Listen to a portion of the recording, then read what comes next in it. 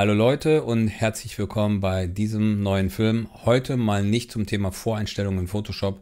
Ich hatte es euch ja schon angekündigt, wir werden mal eine Pause machen, zumindest von einem Film und heute geht es um ein anderes Thema und zwar Speichern in Photoshop. Immer dann, wenn wir Photoshop öffnen, wissen wir vorher schon, wir müssen Photoshop auch irgendwann mal wieder schließen. Heißt, wir müssen dann natürlich unser Ergebnis auch vorher abspeichern. Heißt also auch, immer dann, wenn wir irgendwas in Photoshop machen, müssen wir ja irgendwie speichern. Also ist das ein sehr wichtiges Thema. Und wir haben verdammt viele Möglichkeiten, irgendwas zu speichern. Und das ist noch lange nicht selbsterklärend. Wir haben Speichern, Speichern unter, Kopie speichern, Exportieren als oder Schnellexport als PNG. Für Web speichern. Dann können wir auch einfach nur auf das Kreuz gehen, auf das geöffnete Bild. Dann können wir das auch so zumachen. Und mal gucken, ob ich da gleich noch mehr finde. Lasst euch überraschen, wir gehen jetzt an den Monitor und ich zeige euch jetzt ja alles, um was es da geht. Und ich würde sagen, Daumen nach oben, wenn euch der Film gefallen hat. Und natürlich wieder ein Abo hinterlassen. Und los geht's nach dem Intro. Bis gleich.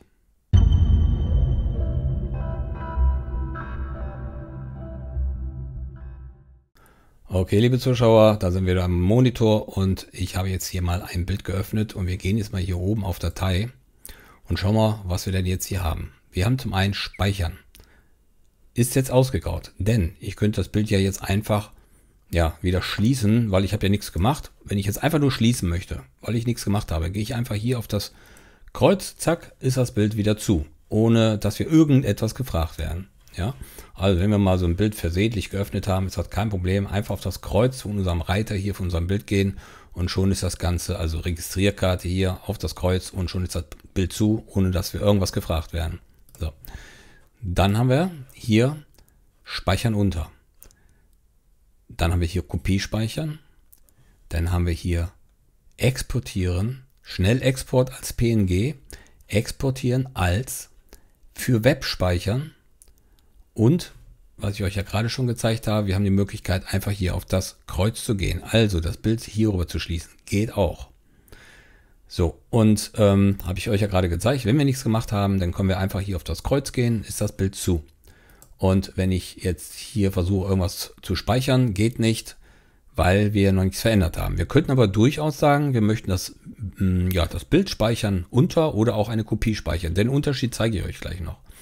Genauso gut wie wir auch jetzt schon äh, exportieren. Ja, das würde jetzt alles natürlich schon gehen. Oder für Web speichern. Okay, aber die Unterschiede zeige ich euch jetzt nach und nach. Wenn wir jetzt aber im Bild schon irgendetwas verändern. Ich nehme jetzt mal einen Pinsel und ich lege jetzt bewusst mal keine Ebene drüber, sondern ich male direkt auf der Hintergrundebene. Und ich male jetzt hier einfach mal im Bild rum. So. Und äh, das gleiche ist jetzt, wenn ich zum Beispiel hier oben, wenn ich nicht hier rüber gehe, über die Einstellungsebenen und hier rüber jetzt eine Ebene drüber lege, sondern ich mal direkt auf der Hintergrundebene, indem ich jetzt, oder beziehungsweise verändere was auf der Hintergrundebene, das können wir natürlich auch machen, wenn wir auf Bild gehen, auf Korrekturen und hier mal eine Farbtonsättigung nehmen und hier mal meinetwegen den, die Sättigung richtig nach oben ziehen. So, damit wir das auch richtig sehen, mache ich das ganz extrem. Okay, das haben wir jetzt alles auf der Hintergrundebene gemacht. Das bedeutet, da muss man wirklich vorsichtig sein, wenn wir jetzt nämlich einfach auf das Kreuz gehen würden, dann werden wir noch einmal kurz gefragt. Ich zeige euch das. Ich gehe mal auf das Kreuz. Jetzt werden wir noch einmal gefragt, möchtest du das speichern? Ja, möchte ich gerne speichern. Ja, hier steht, möchtest du die Änderung an Adobe Photoshop Dokument Meeting komplett Kopie JPEG vor dem Schließen speichern? Ähm, ja, das machen wir jetzt einfach mal. Ich speichere das jetzt und dann wird das Bild einfach geschlossen. Ja, wir haben jetzt das, was wir gemacht haben, einfach in das Bild eingebrannt. Es ist weiterhin ein JPEG und es ist ja für immer und ewig so, wie es ist. Wir können es nicht mehr rückgängig machen. Ich werde das Ganze jetzt nochmal rückgängig machen, beziehungsweise löschen und mir jetzt einfach nochmal eine Kopie ähm, von meinem Bild machen und werde das jetzt nochmal in Photoshop öffnen. Und wir machen jetzt das gleiche nochmal. Ich male jetzt hier irgendwas rein, direkt auf der Hintergrundebene. Und wenn ich jetzt sage Datei und ich gehe jetzt auf Speichern, wir haben das jetzt gerade über das Kreuz gemacht. Heißt, wenn ich jetzt hier wieder auf Speichern klicke, wird das Bild direkt geschlossen. Ja, Ganz wichtig, dann ist es weg, das Bild. Also ist zu hier in Photoshop und wir finden das natürlich in der Bridge, aber so bearbeitet, wie wir das jetzt gemacht haben. Wir werden nicht gefragt, ob wir das gerne nochmal kopieren möchten äh, oder so. Dass wir das, wollen wir das jetzt einfach auf dem Bild jetzt so lassen und dann ist das Bild so abgespeichert, dann ist es eingebrannt. Ja.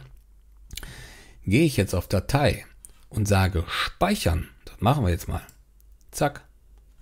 Bam, fertig, ist gespeichert. Aber es wird nicht geschlossen. Es bleibt weiterhin in Photoshop aber was wir jetzt müssen, wissen müssen, wir gehen jetzt mal in die Bridge und jetzt sehen wir schon, und meine beiden tollen Kreise, die ich hier wieder gemalt habe, die sind jetzt hier in meinem JPEG schon zu sehen. Heißt, wenn die hier zu sehen sind, kann ich sie auch nicht mehr rückgängig machen.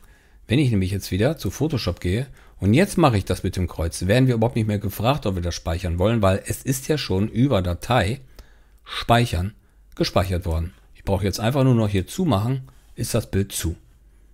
Ja, ähm, also diese Methode ist jetzt natürlich nicht ohne. Es sei denn, ja, ich werde das Bild mal wieder hier löschen. Es sei denn, ihr wisst schon ganz genau, was ihr an einem JPEG ändern wollt und ihr wisst auch genau, ihr wollt davon jetzt nicht eine zweite Alternative machen und das dann irgendwie abspeichern. Ähm, Moment, ich zeige euch jetzt mal kurz. Ich werde jetzt erstmal wieder duplizieren und werde das jetzt wieder öffnen. Wenn ihr also sicher seid, ihr wollt jetzt wirklich nur hier an diesem JPEG irgendetwas verändern, was dann auch wirklich so abgespeichert sein soll. Ihr braucht auch keine Kopie von, ihr wollt auch daraus jetzt keine Photoshop-Datei machen, um jetzt hier ein Composing zu starten oder so. Dann könnt ihr alles direkt auf der Hintergrundebene regeln. Ja, ihr braucht dann grundsätzlich sonst nichts machen. Ähm, also, wenn ihr, sobald ihr aber hier drüber geht und ihr legt euch jetzt hier eine Tonwertkorrektur oben drüber, ich mache das jetzt, zack, die lege ich jetzt hier oben drüber und fange jetzt hier an, irgendwas zu korrigieren dann könnt ihr auf diesem Wege nicht mehr einfach ein Bild schließen. Das zeige ich euch jetzt mal. Und zwar, wenn ich jetzt auf das Kreuz gehe, so wie ich das gerade gemacht habe, jetzt ging das ja vorhin so, ich drücke auf Speichern, das Bild wird einfach geschlossen. Mache ich das jetzt, weil jetzt habe ich wie gesagt eine Ebene über die Hintergrundebene gelegt und ich speichere das jetzt. Jetzt kommt die Nachfrage. Wo soll das hin? Und damit, das bedeutet, dass ich mein Originalbild jetzt nämlich nicht mehr verändere zeige ich euch jetzt. Ich kann das jetzt hier als JPEG gar nicht auswählen, da kommen wir gleich zu, weil ich habe jetzt eine Ebene. Ich bin ja jetzt unter Speichern untergegangen. Unter Speichern unter können wir jetzt hier gar kein JPEG auswählen, weil es schlichtweg eine Ebene hat und eine Ebene ähm, kann als JPEG nicht mehr abgespeichert werden. Deswegen müssten wir jetzt hier auf Kopie speichern gehen und jetzt finden wir auch unser JPEG. So, und jetzt sehen wir schon, hinter unserem äh, Meeting komplett Kopie Dateinamen ist jetzt nochmal Kopie dahinter gesetzt worden. Das heißt, es ist jetzt eine Kopie von meiner Kopie. Gehe ich jetzt her und speichere das jetzt, werde ich sogar nochmal gefragt, in welcher Qualität will ich das JPEG denn jetzt abspeichern. Ich drücke auf OK. Und ähm, jetzt werde ich hier nochmal gefragt, möchtest du die Änderung an dem Adobe Photoshop Dokument jetzt speichern vor dem Schließen? Kannst du sagen, nein, das will ich nicht speichern, denn ich habe das ja jetzt gerade schon gespeichert und zwar ist es das jetzt, was ich gerade abgespeichert habe. Ist natürlich doof, ich habe jetzt gar keine Veränderung gemacht, das können wir jetzt gar nicht sehen. Ich hätte jetzt vielleicht mal in der Tonwertkorrektur einfach mal ein bisschen was verändern sollen. Das ist das, was wir jetzt gerade gefragt wurden. Wollen wir das jetzt abspeichern? Jawohl, das möchte ich abspeichern. Und das war das Bild, was ich ursprünglich geöffnet hatte. Das wäre jetzt in der Tonwertkorrektur verändert worden, wenn ich denn was verändert hätte. Und das eben nicht, weil das ist das Original. Das ist jetzt der große Unterschied, wenn wir nämlich ja, ich werde das jetzt mal wieder löschen. Ist jetzt ein bisschen kompliziert, das zu erklären. Ich muss das natürlich jetzt immer wieder hier ähm, öffnen und schließen. Jetzt öffne ich das jetzt wieder. Okay. Und ähm, würde ich jetzt einfach auf das Kreuz gehen, na klar, dann würde ähm, das Bild einfach wieder geschlossen werden, weil wir haben ja jetzt nichts gemacht. Jetzt gesetzt den Fall. Ich öffne jetzt einfach mal das Schloss. Selbst das reicht schon aus, um das Bild nicht mehr so zu speichern, wie ich euch das anfangs gezeigt habe, sondern wie ich euch das als zweite Alternative gezeigt habe, dass ihr jedes Mal gefragt werdet, ob ihr denn oder wo ihr denn euer Bild speichern wollt. Also, ich meinte das jetzt hier. Genauso wie wenn ich das so mache, Datei und unter Speichern klicke. Auch jetzt wird das Bild nicht einfach nur noch gespeichert, sondern ich habe das Schloss geöffnet. Das bedeutet, ich werde jetzt direkt gefragt, wo möchte ich das abspeichern? Und kann jetzt hier auch schon nicht mehr das normale JPEG aussuchen, weil ich das Schloss geöffnet habe, sondern ich muss tatsächlich auch hier jetzt schon auf Kopie speichern klicken, wenn ich das denn als Kopie speichern, als JPEG speichern möchte. Jetzt finde ich hier mein normales JPEG. Also auch das ist zu berücksichtigen. Ja, sobald ihr das Schloss geöffnet habt, könnt ihr nicht mehr einfach ähm, ja, einfach auf das Kreuz gehen und dann speichern klicken und dann ist das Bild zu und das Originalbild habt ihr dann gespeichert, sondern ihr müsst im Grunde genommen dann eine zweite Datei generieren. Allerdings gibt es da jetzt dann doch wieder eine Besonderheit, nämlich wenn ihr jetzt angenommen das Schloss geöffnet habt, ihr habt euch da eine Einstellungsebene drüber gelegt und habt da meinetwegen irgendwas verändert. Wir machen das jetzt mal ein bisschen heller hier. Und ähm, dann habt ihr meinetwegen auf einer leeren Ebene einfach mal hier irgendwas rumgemalt. So, und wie ich euch ja gerade gezeigt habe, ihr könnt jetzt nicht einfach mehr hier hergehen und sagen, ja, wir speichern das jetzt, weil wenn ich jetzt hier drauf drücke, werden wir natürlich gefragt, wo wollen wir das speichern, als was für Format wollen wir speichern.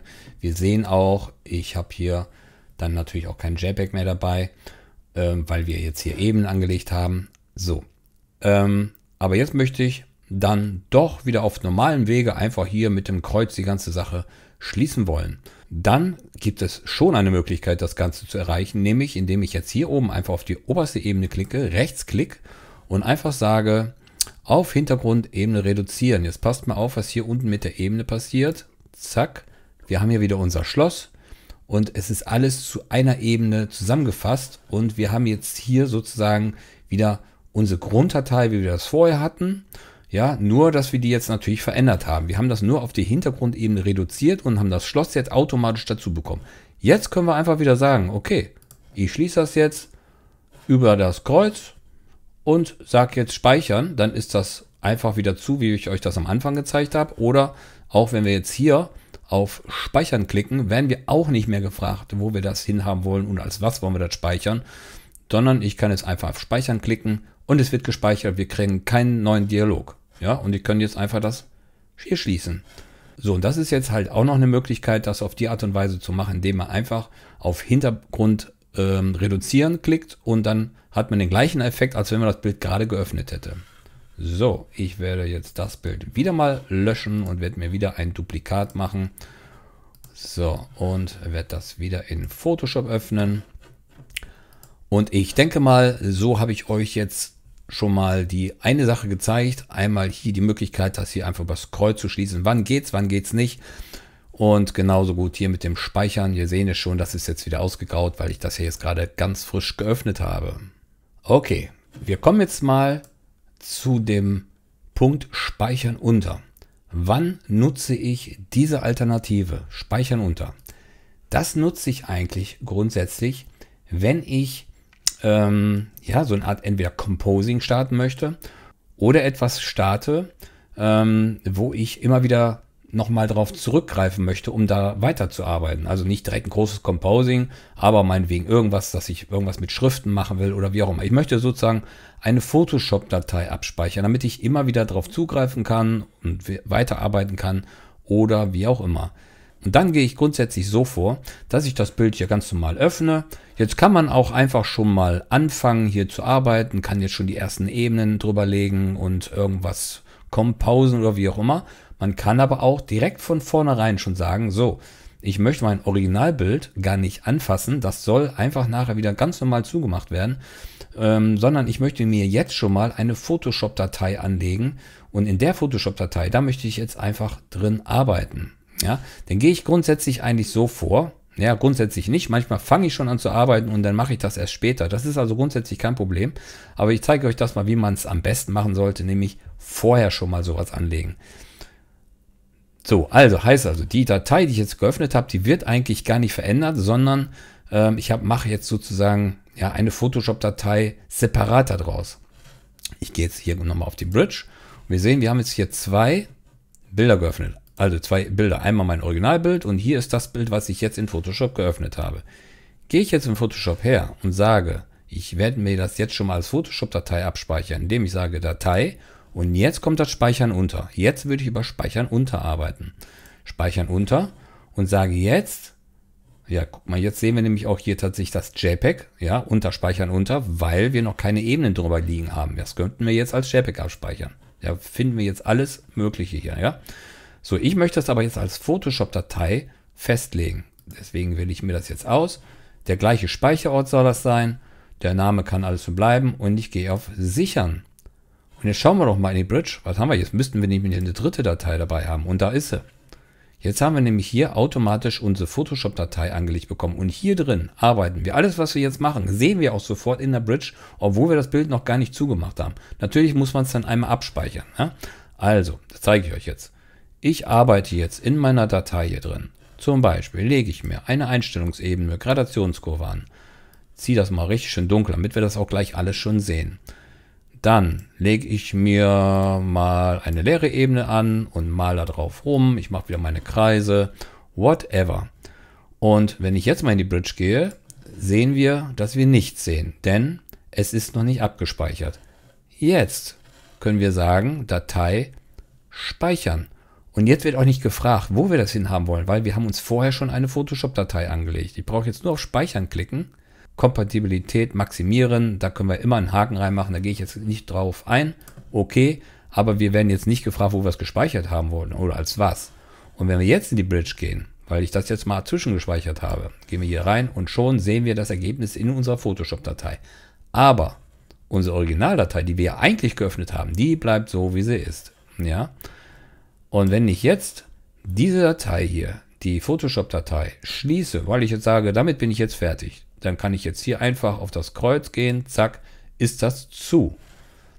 Aber auch jetzt bleibt unsere Hauptdatei unberührt. Nur die Photoshop-Datei, die habe ich jetzt geschlossen und die ist jetzt hier so gespeichert, wie ich euch das gerade gezeigt habe.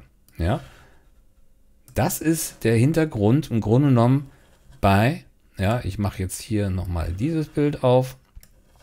Das ist der Hintergrund beim Speichern unter. Ähm, das ist also wirklich praktisch, wenn man das direkt am Anfang macht, wenn man etwas Größeres vorhat und nicht einfach nur mal eben kurz das eigentliche Bild, was ich jetzt nur so mal eben schnell verändern möchte und ich will das auch im Original so gespeichert haben, dann braucht man den Weg natürlich nicht gehen, dann kann man den ersten Weg gehen, den ich euch gezeigt habe, ja. Aber dann gibt es auch kein Zurück mehr, das muss man immer bedenken. Es gibt kein Zurück mehr, aber als Photoshop-Datei kann ich alles wieder rückgängig machen. Das ist wichtig. Okay. Ich hoffe, der Unterschied ist soweit rübergekommen. Und dann kommen wir mal zum Punkt Kopie speichern. Was können wir denn damit jetzt anstellen? Ja, ich habe euch ja jetzt gerade gezeigt, wenn ich auf Speichern untergehe, ich habe das Bild geöffnet hier, ich gehe auf Datei, Speichern unter. Jetzt finden wir hier alle unsere Formate. Ja, gehe ich jetzt auf Datei Kopie speichern, das sieht doch alles genauso aus. Da haben wir unsere Formate doch auch. Ja, ist richtig. Aber, jetzt pass auf. Jetzt fange ich an hier rum zu composen, ja, indem ich jetzt wieder das gleiche mache wie gerade. Ne? Also, ich lege wieder Ebenen an. Darauf kommt es jetzt an. Ja, sobald ich anfange, Ebenen hier drüber zu legen, dann kriegen wir ein Problem. Also, ich lege jetzt hier eine leere Ebene an, mache jetzt hier wieder irgendwelche Spielchen, ändere das Bild, indem ich das jetzt hier dunkler mache. Wir sehen schon, wir bekommen immer wieder Ebene hier drüber. Wenn ich jetzt hergehe und sage Datei, ähm, Kopie speichern, ähm, nein, speichern unter, so, und ich möchte das gerne als JPEG abspeichern, das wird jetzt hier nicht mehr funktionieren, weil, wenn wir das jetzt mal aufklappen, finden wir kein JPEG mehr. Gerade haben wir es noch gefunden. Das liegt jetzt daran, dass wir jetzt hier Ebenen angelegt haben. Und ein JPEG kann man als Ebenen oder mit Ebenen nicht speichern. Deswegen wird das jetzt hier auch nicht mehr angezeigt. Dafür müssen wir auf Kopie speichern gehen, denn wir machen uns jetzt eine Kopie von unserem Ergebnis, was wir jetzt gerade hier in Photoshop erreicht haben.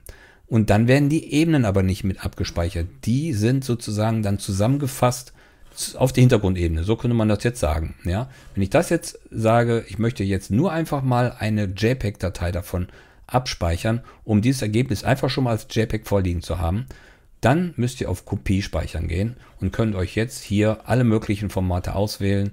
Natürlich meistens das JPEG und dann steht hier auch direkt Kopie dahinter. Ihr könnt der ganzen Sache natürlich auch einen Namen geben, woanders speichern und so weiter und so fort. Natürlich hat man trotzdem die Möglichkeit zu sagen, hey, ähm, ich gehe auf Speichern unter ich habe keine Lust auf Kopiespeichern zu gehen oder ihr habt euch jetzt verklickt und seid hier in Speichern unter und jetzt findet ihr hier euer JPEG nicht, könnt ihr hier rechts auch draufklicken, Kopie speichern. Wenn ihr das macht, zack, kommt ihr in einen anderen Dialog äh, unter Kopie speichern und jetzt seid ihr im Grunde genommen wieder da, wo ihr hingekommen wärt, wenn ihr hier auf Datei Kopie speichern angeklickt hättet. Ja. Wenn, das ist also im Grunde genommen diese Geschichte mit Kopiespeicher und Speichern unter, diese, dieses Auseinanderhalten hier, dass es hier zwei Rubriken gibt, das ist irgendwann mal in Photoshop dazugekommen, ist schon ein bisschen länger her. Das irritiert den einen oder anderen, die wollen das dann nicht haben.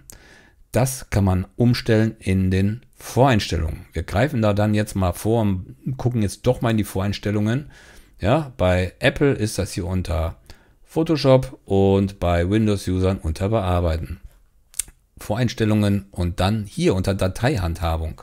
Wenn wir da draufklicken, dann können wir hier auswählen, altes Speichern unteraktivieren. Wenn wir das jetzt machen, ich erspare mir das jetzt, dann bekommen wir unseren ganz alten Speichern unter Dialog. Ja, dann ist dieses, komm, wir machen es doch mal. Ja, wir machen es doch mal, damit ihr seht, äh, ich weiß nicht, ob ihr vielleicht den alten ähm, Speichern unter ähm, Dialog gar nicht kennt. Ja, das machen wir jetzt mal.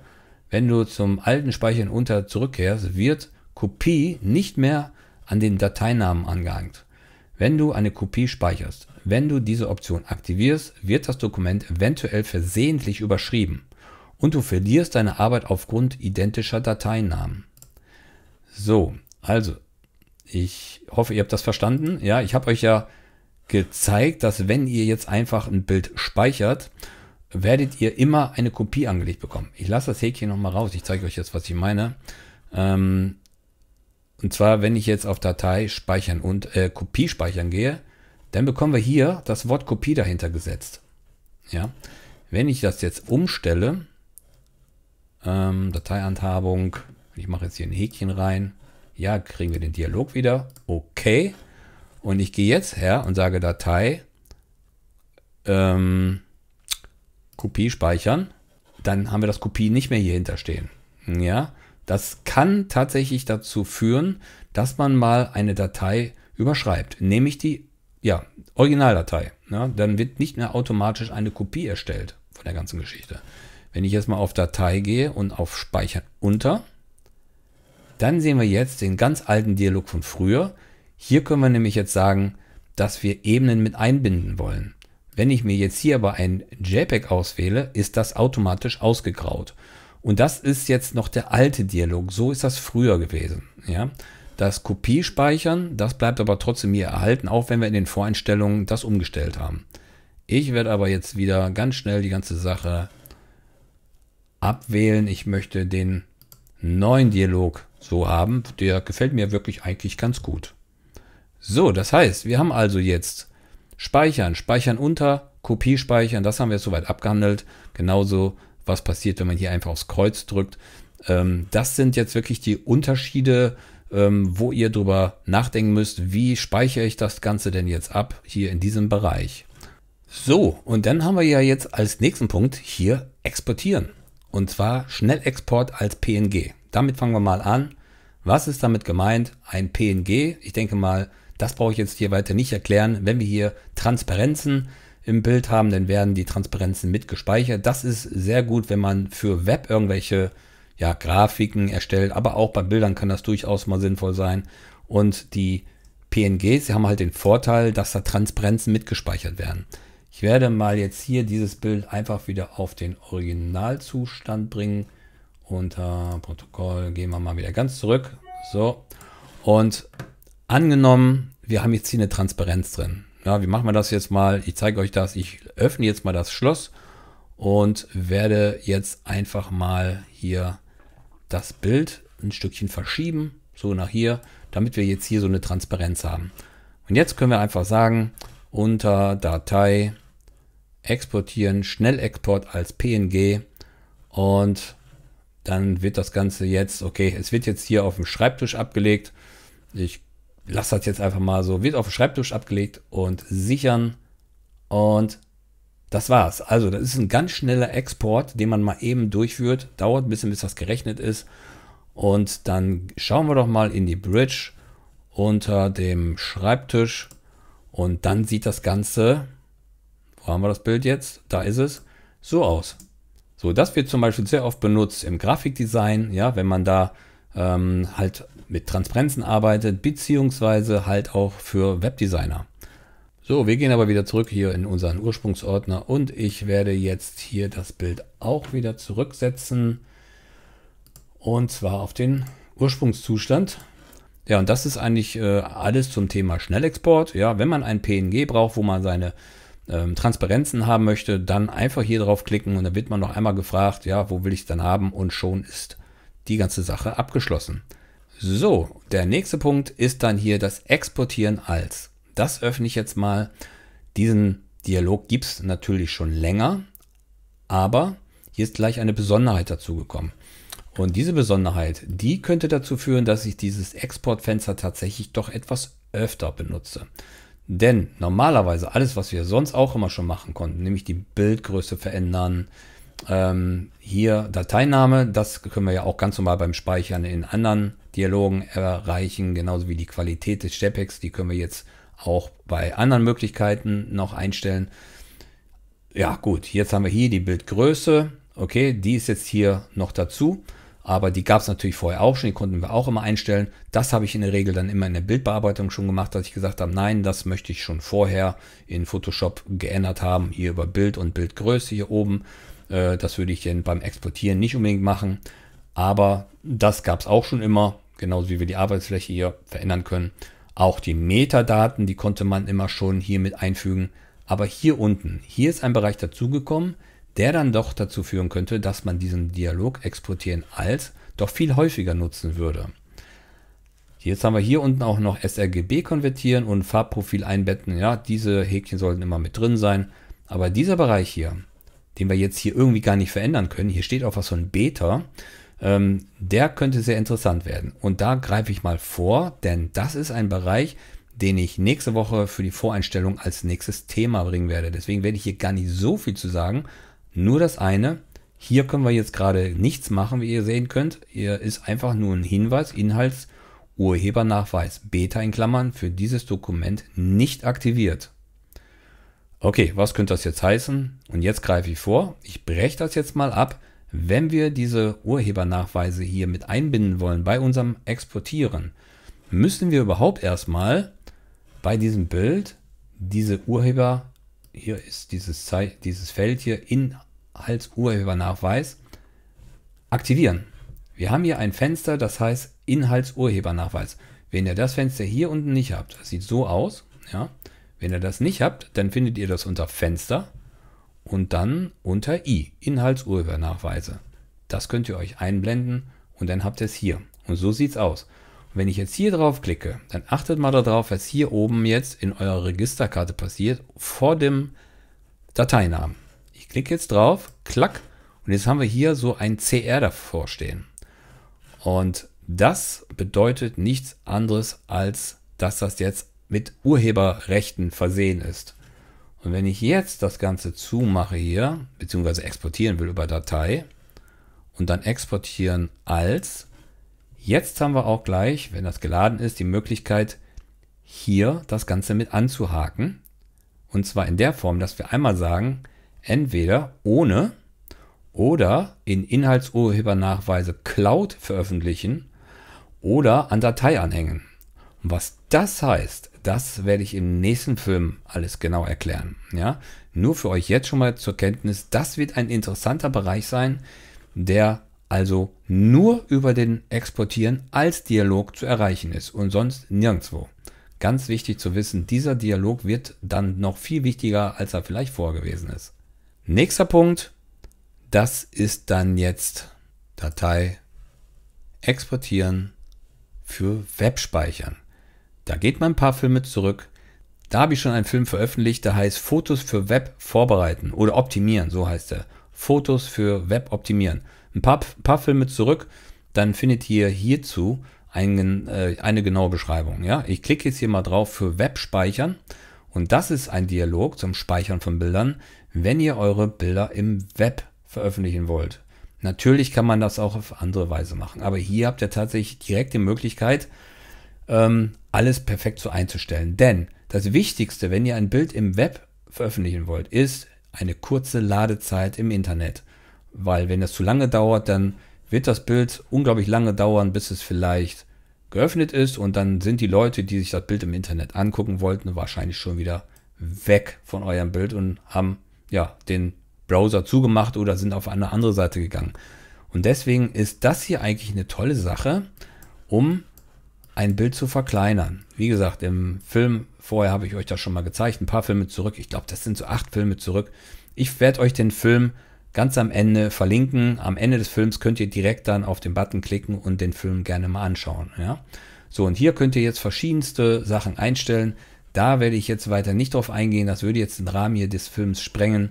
Und ihr könnt dann hier nach und nach hier irgendwas einstellen, dass dann unterm Strich die Bildgröße immer kleiner wird. Ja, und das ist Sinn und Zweck von diesem ganzen Dialog.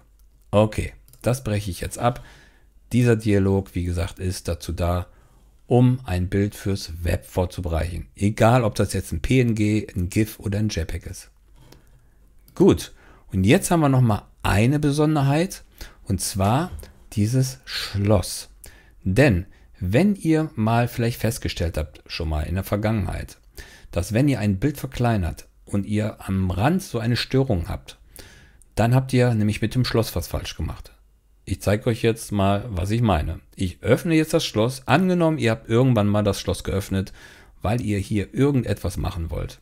Und jetzt wollt ihr das Bild verkleinern. Jetzt passt mal auf, was passiert. Ja, ich werde das Bild jetzt verkleinern. Wir sehen jetzt erstmal hier am Rand, dass alles, ach, das wollte ich jetzt nicht. Jetzt habe ich schon fast euch den Effekt gezeigt. Das mache ich wieder rückgängig. Ich zeige euch jetzt mal am Rand, dass hier alles gut aussieht. Hier ist alles ordentlich und sauber am Rand. Und wenn ich jetzt das Bild verkleiner, Bild, Bildgröße und ich mache aus diesem großen Bild jetzt mal ein kleines Bild. Sagen wir mal 1000 mal 667. Okay. Und jetzt zoome ich mal rein. Jetzt passt mal auf, was passiert ist wenn man jetzt mal ganz pingelig ist, und das könnte tatsächlich nach im Web, wenn ihr das Bild im Web seht, ihr seht das vielleicht schon aus der Entfernung, hier ist irgendwie so ein komischer Rand. Und den Rand habt ihr drumherum. Jetzt könnt ihr den Rest nicht so gut sehen. Das sieht man besonders in dunklen Pixelstellen. Und jetzt zoome ich mal rein. Jetzt sind wir schon im Pixelbereich. Und wenn wir jetzt mal im Pixelbereich schauen, dann sehen wir auf einmal die Transparenz hier drunter. Und die werdet ihr auch sehen, wenn ihr das JPEG jetzt abspeichere, dann seht ihr zwar keine Transparenzen da drin, aber ihr seht dann eine Störung hier. Und das passiert immer dann, und das wird immer passieren, wenn ihr dieses Bild abspeichert jetzt, wenn ihr jetzt also sagt, Datei speichern, ja, das könntet ihr ja jetzt so machen. Nein, das könntet ihr jetzt nicht so machen, weil ihr habt ja das Schloss rausgenommen. Wenn ihr jetzt versucht, dieses Bild zu schließen, habe ich euch am Anfang des Films gesagt, speichern, dann werdet ihr jetzt gefragt, weil ihr habt jetzt das Schloss entfernt. Jetzt könntet ihr aber auch sagen, ähm, Rechtsklick auf Hintergrundebene reduzieren und jetzt könnt ihr das Bild einfach so zumachen. Ja, und wenn ihr das Bild dann jetzt abgespeichert habt, dann werdet ihr auch hier diese Störung definitiv ebenfalls sehen. Ja, das ist ein Effekt, den man dann hat, weil, wenn man das nämlich jetzt abspeichert, weil ihr müsst jetzt bedenken, in dem Moment, wo ihr das Schloss rausnimmt und ich jetzt mal auf mein Verschieben-Werkzeug gehe, dann könnt ihr diese Ebene verschieben und ihr habt jetzt eine Transparenz hier drunter. Und diese Transparenz, die kommt unter Umständen oder eigentlich fast immer dann plötzlich zum Vorschein an den Rändern. Was anderes ist das jetzt, wenn ihr ähm, auf Protokoll, ich gehe jetzt mal wieder zurück auf den Ursprungszustand. Was anderes ist das, wenn ihr jetzt versucht, dieses Bild mal zu verschieben. Ihr seht, könnt ihr nicht verschieben. Ja, die aktuelle ausgewählte Ebene ist eine Hintergrundebene. Du kannst eine Hintergrundebene nicht verschieben und deren Zeichenordnung, Mischmodus oder Deckkraft nicht verändern. Bla bla bla und hin und her.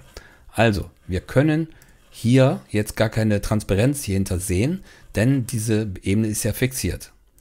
So, solltet ihr irgendwann mal diese Ebene geöffnet haben und wollt das Bild jetzt verkleinern, müsst ihr grundsätzlich hergehen und mit, Rechts, mit Rechtsklick hier auf die Ebene gehen und sagen, auf Hintergrundebene reduzieren.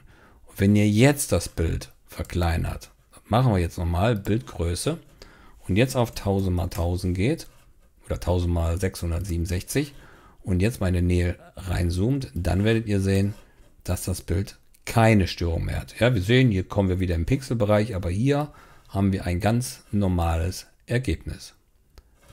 So, das, wie gesagt, als letzten Tipp nochmal hier in diesem Film, denn das ist wirklich eine Sache, die ist auch wichtig, wenn ihr Bilder speichert, dass ihr immer auch berücksichtigen, berücksichtigen müsst, wenn ihr das Bild am Ende wirklich verkleinern wollt, dass ihr dann definitiv ähm, das Bild auf die Hintergrundebene reduziert, ansonsten werdet ihr hässliche Ränder bekommen. Ja Leute, ich hoffe, ich habe jetzt in dieses Thema mal ein bisschen Kleid reingebracht. Ja, wie speichere ich meine Bilder am besten? Wann wähle ich was aus? Und dann kann eigentlich nichts mehr schief gehen.